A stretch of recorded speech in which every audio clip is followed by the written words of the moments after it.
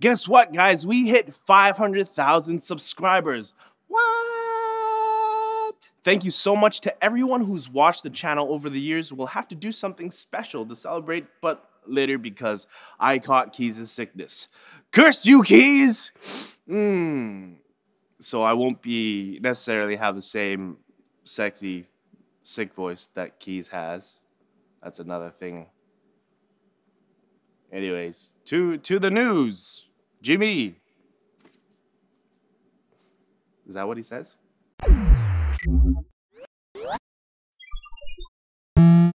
With the light activation and silent tactile bump, Topre Type Heaven keyboards bring the best of both worlds. It's CES day one. Yesterday was day zero, and there's too much news to handle. So you know what that means.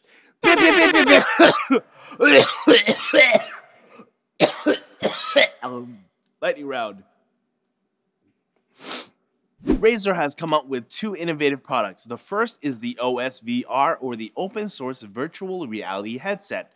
The Hacker Dev Kit, as it's called, has pretty threadbare specs, but every detail of its software and hardware will be made public for the community to improve on. We'll see if that leads anywhere. Razer's other big product is Razer Forge TV, a micro console running Android TV that can also stream games from your PC. It has an optional controller, the Serval, which comes with a phone clip for mobile play, and the Turret Lapboard, a combined keyboard, mouse, and mousepad. Do either of Razer's offerings look interesting to you? Leave a comment down below. ASUS has revealed a 120Hz 1440p IPS display that may also support FreeSync, but we'll have to wait to confirm that while Acer's surprises a 144Hz IPS 1440p panel that also supports NVIDIA's G-Sync. High res, high refresh rate IPS? Eat it, compromise. Samsung has unveiled the credit card size portable 1TB SSD that they're calling the Portable SSD T1 really broke the bank on naming that thing. A company called Energous has shown off a wireless power technology called WattUp that uses routers to distribute power in much the same way as Wi-Fi, and it looks like it'll be here sooner than we thought. Gigabyte has followed in ASUS's footsteps by launching the X99 SoC Champion, a board with 2083 pins rather than the standard 2011, allowing for better overclocking.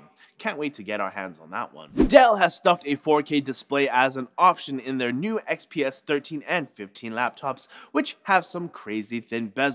And Kodak has revealed their smartphone, the IM5, which they built in partnership with Bullitt. It's got a big button skin of Android 4.4 KitKat and it looks like it's geared toward less technologically inclined people, but it's only 249 off contract. Uh, okay. Please no more. Jack has to rest. Oh, wait, a tweet. Buenka! Buy select MSI motherboards from NCIX and get a free copy of Far Cry 4. Click here or the link in the description for details. Alright, alright, alright. That's it for Netlinked Daily, guys. Thank you so much for watching. Don't forget to like and subscribe for more videos like this from NCIX.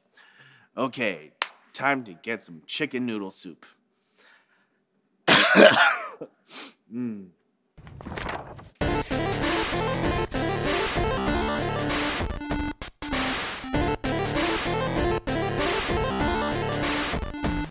Company called Energous has shown off a wireless power technology called WattUp that uses routers to distribute power in much the same way as Wi-Fi.